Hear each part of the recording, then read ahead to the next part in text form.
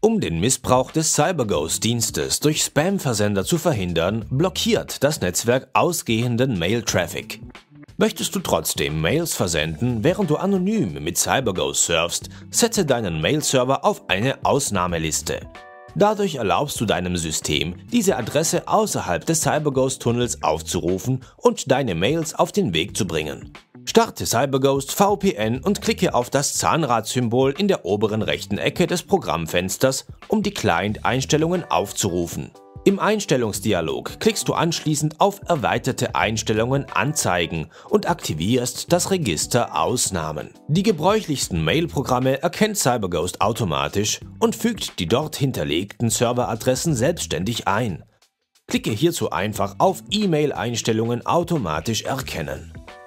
Sollte CyberGhost die Adressen nicht automatisch erkennen, musst du sie manuell eintragen. Tippe hierzu die jeweilige IP-Adresse oder den Hostnamen in die Eingabemaske mit der Bezeichnung Host IP hinzufügen und klicke anschließend auf die Schaltfläche Ausnahme hinzufügen.